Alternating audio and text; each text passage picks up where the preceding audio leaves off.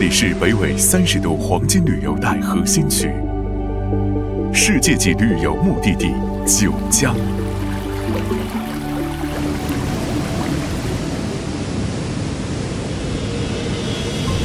它的景观奇绝，举世无双；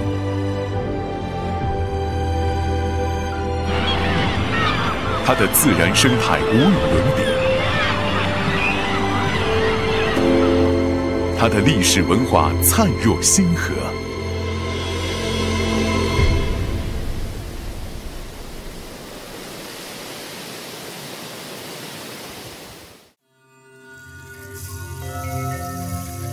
北宋传世画卷《千里江山图》描绘的就是九江，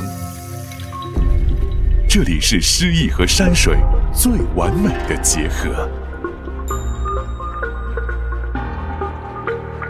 千载以来，陶渊明、李白、白居易、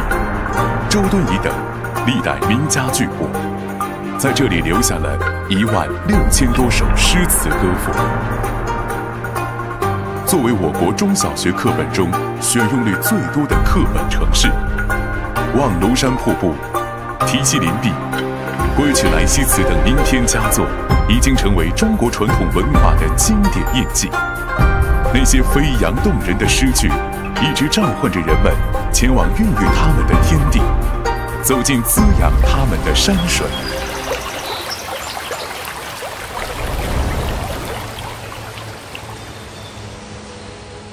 诗是九江最美的风景，是人文圣山最浓的乡愁。在这里有一山飞至大江边，月上葱茏四百悬的豪迈；庐山秀出南斗傍，屏风九叠云锦张的瑰丽；有飞流直下三千尺，疑是银河落九天的壮阔。更有九江秀色可揽截，吾将此地朝云松的抒怀。在这里，陶渊明采菊东篱下，悠然见南山，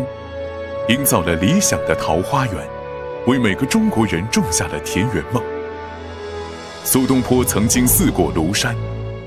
不识庐山真面目，只缘身在此山中，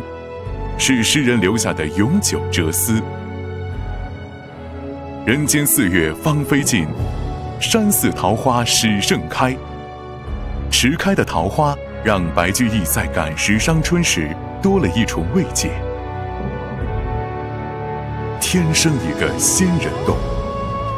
无限风光再现风，华章雅韵，大笔如椽。至美的诗意，永远随着云雾在峰峦间栖息。东临净土宗法脉含苞孕育，白鹿洞汉墨书香蒸馏千年，曹洞宗发祥地云居山一音钟磬，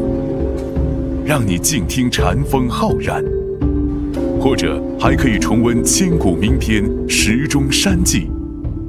看江湖两色，听千古奇音。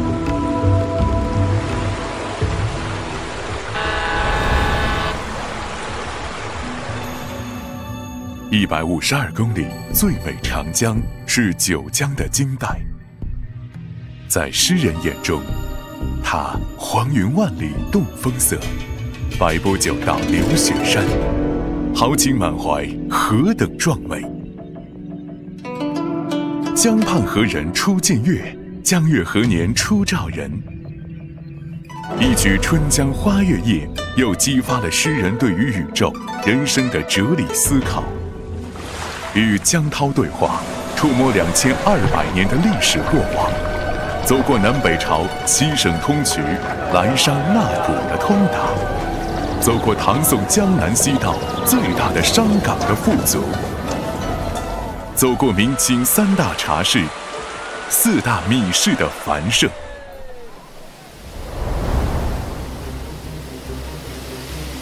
中国最大的淡水湖。鄱阳湖烟波浩渺，落霞与孤鹜齐飞，秋水共长天一色。寻访大湖胸怀的壮阔，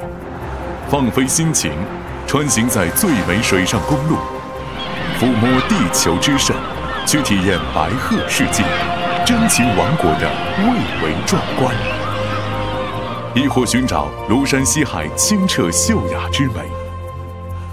在千丈叠翠间寻访水中大熊猫之称的桃花水母。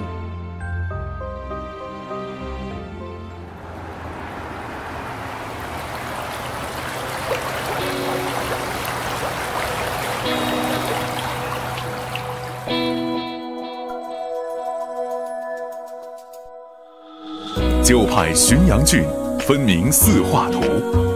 这是江南古城的领袖。绿蚁新醅酒，红泥小火炉，驻足品味城之烟火，赴一场山江湖城的快意之旅，感知天下江山眉目之地的青绿相拥，与焦脆的萝卜饼，热腾的清汤馄饨。绵糯的陈年风干，鲜嫩的豆参鱼头，质朴的火炉炖菠菜，融进这座古城的生活日常。回望浔阳的精彩往事，复盘一次浔阳江头夜送客、枫叶荻花秋瑟瑟的时空演绎，重拾万里茶道、鄱湖瓷路的繁华过往。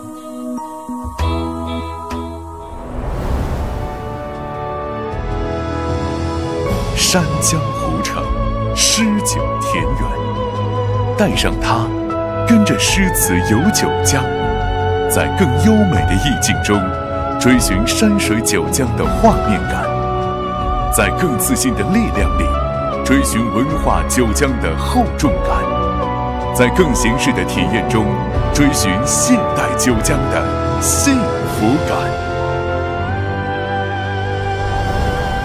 人生自有诗意，